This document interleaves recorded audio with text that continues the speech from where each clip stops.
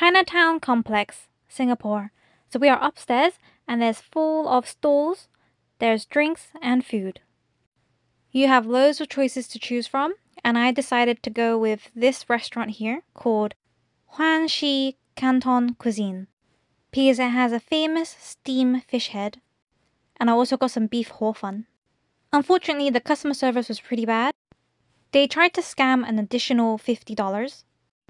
That section was the food complex, and the rest of it is a big market full of clothes.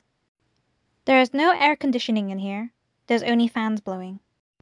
It is one of the largest hawker centers in Singapore, with over 260 stalls. You could spend hours here just trying different food, looking at different things to buy. But you cannot find a bikini because that was what I was looking for.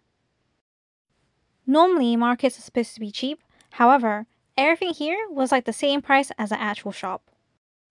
I would have preferred going to a restaurant instead because it was the same price and there would have been air conditioning there.